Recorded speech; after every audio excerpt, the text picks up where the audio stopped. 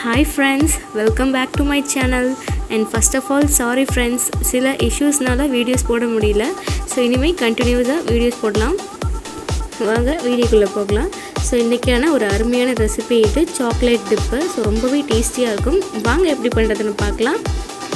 So அதுக்கு first ஒரு பவுல் எடுத்துக்கலாம். அதில் நான் four packets happy happy biscuit எடுத்திருக்கேன்.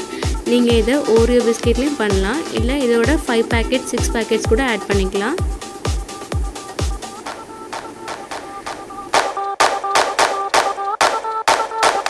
இது நல்லா மிக்ஸ் ஆகிற அளவுக்கு பால் ஆட் பண்ணிக்கலாம். இதுக்கப்புறமா ஒரு பிஞ்ச் அளவு பேக்கிங் சோடா தேவையான அளவு உப்பை ஆட் பண்ணிவிட்டு இது நல்லா மிக்ஸ் பண்ணி விட்டுறலாம்.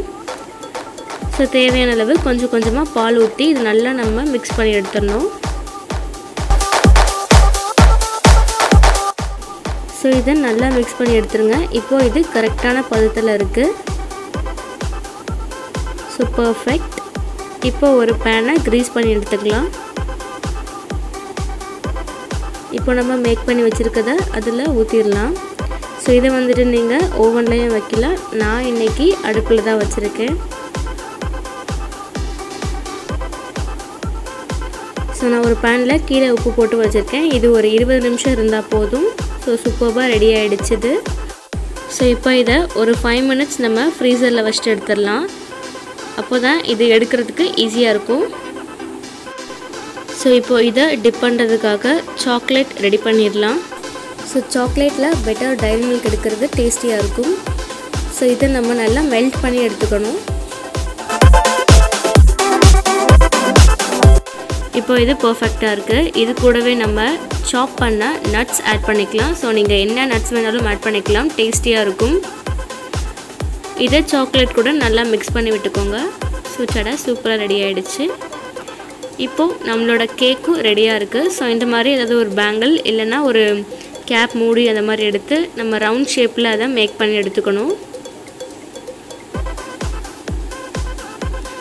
பார்த்திங்கன்னா சூப்பராக ரவுண்ட் வந்திருக்கு. ஸோ இதை அப்படியே எடுத்து நம்ம சாக்லேட்டில் டிப் பண்ணி எடுத்துடலாம்.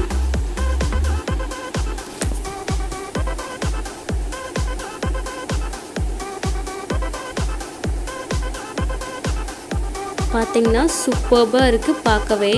ஸோ இதே மாதிரி மீதி இருக்க எல்லாத்தையுமே நம்ம ரெடி பண்ணி எடுத்துடலாம்.